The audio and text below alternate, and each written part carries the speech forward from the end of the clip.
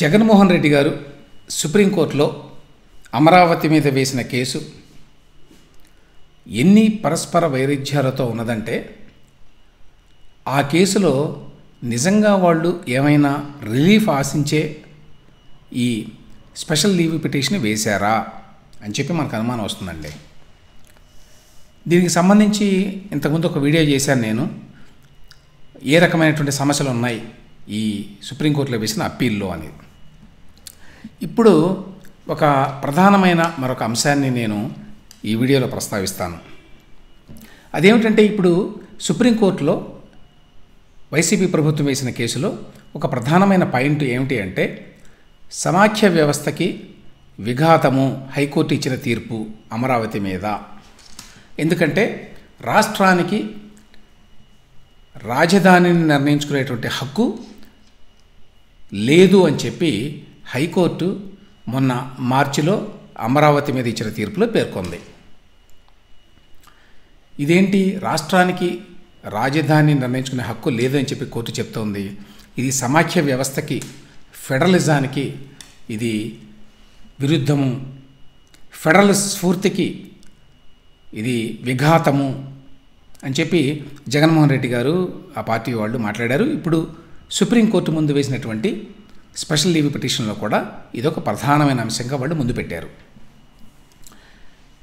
సరే legislative competence ఈ అంశాలకు సంబంధించి కోర్టు కొన్ని చెప్పింది. దాని గురించి నేను ఇంతకుముందు చేసిన వీడియోలో మాట్లాడాను. అది పక్కన పెట్టి స్వయంగా జగన్మోహన్ రెడ్డి గారు వాళ్ళ ప్రభుత్వము వాళ్ళ పార్టీ ఈ అంశం మీద వాళ్ళ స్టాండ్ ఏంటి?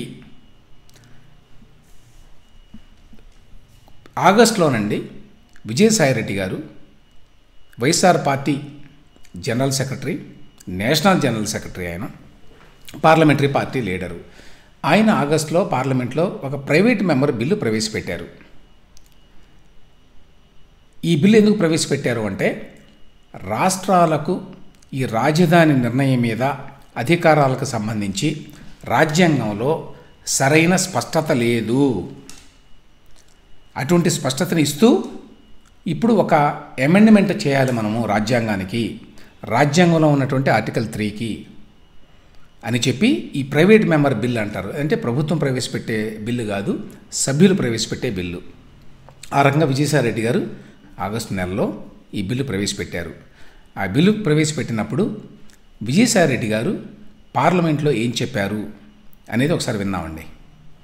Constitution amendment bill twenty twenty two in insertion of new article three A Shri V Vijayasai Reddy to move for leave to introduce the constitution amendment bill twenty twenty two sir I move for leave to introduce the constitution amendment bill two thousand twenty two to provide state legislatures with explicit legislative competence to establish one or more capitals within their territory.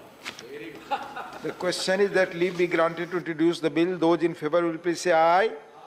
Those against will please say no. I think the ayes have it, the ayes have it, the ayes have it. Sri V. Vijay Sai Reddy ji. Sir, I introduce the bill. sir. So Vijayasai Reddy గారు ఏమంటున్నారండి state legislature legislative assembly Should have explicit powers to establish one or more capitals అది ప్రధానమైన point. రాష్ట్ర శాసనసభకి లేక శాసనసభలకు ఒకటి లేక అంతకంటే ఎక్కువ రాజధానులు పెట్టుకోవడానికి స్పష్టమైన అధికారాలను ఇస్తూ ఈ ప్రొవిజన్ పెట్టాలి అని చెప్తున్నారు. చాలా ఇంపార్టెంట్ పాయింట్ ఇది. విజయసాయి రెడ్డి గారు ఏమంటున్నారు? రాష్ట్ర శాసనసభలకు రాజధానిని ఒకటి లేక అంతకంటే ఎక్కువ రాజధానుల్ని ఎక్కడ పెట్టుకోవాలో నిర్ణయించుకునేటువంటి అధికారము పూర్తి అధికారము సంపూర్ణ అధికారము ఉండాలి. ఉండే విధంగా రాజ్యాంగంలో ఉన్నటువంటి ఆర్టికల్ త్రీకి మార్పులు చేయాలి ఒక సవరణ చేయాలి అని అన్నారు. ఈ రాజధాని ఏర్పాటు అనేది రాష్ట్రాలకు ఉన్న అధికారం అయినప్పటికీ కూడా దీని మీద ప్రస్తుతం స్పష్టత లేదు. ఇది ప్రెరగేటివ్ ఆఫ్ ద స్టేట్స్ అయినప్పటికీ క్లారిటీ లేదు. అందుకని ఆర్టికల్ త్రీ ఏకి అమెండ్మెంట్ చేయాలి అని కోరుతూ ఆయన ఈ ప్రైవేట్ మెంబర్ బిల్ ప్రవేశపెట్టారు. అంటే అర్థం ఏంటి రాష్ట్రాలకు రాజధానిని ఎక్కడ ఉండాలో నిర్ణయించుకునేటువంటి అధికారం లేదు అని చెప్పి స్వయంగా వైఎస్ఆర్ పార్టీ నేషనల్ జన జనరల్ సెక్రటరీ అయినటువంటి వి. విజయసాయిరెడ్డి గారు చెప్తున్నారు. ఆయనే స్వయంగా ఈ మాట చెప్తూ ఈ బిల్లు ప్రవేశపెట్టారు. ఇది లేదు కాబట్టే ఇప్పుడు రాజ్యాంగాన్ని సవరించి ఆర్టికల్ త్రీ ఏ కింద ఒక వేరే ప్రొవిజన్ కింద ఒక క్లాస్ కింద ఇది కొత్తగా పెట్టండి. ఏమని? ఈ స్టేట్ లెజిస్లేటివ్ అసెంబ్లీకి ఎక్స్ప్లిసిట్ పవర్స్ ఇస్తూ స్పష్టమైన అధికారాలను ఇస్తూ అని చెప్పి.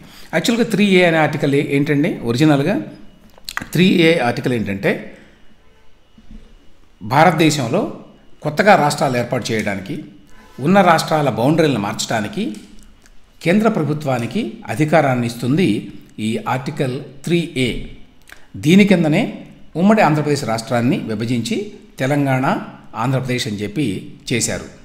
ఇదే ఆర్టికల్ కింద ఆర్టికల్ త్రీ ఏ కింద. ఇప్పుడు ఇదే ఆర్టికల్ త్రీ ఏకి ఇంకొక బి చేర్చమని విజయసాయిరెడ్డి గారు అడుగుతున్నారు.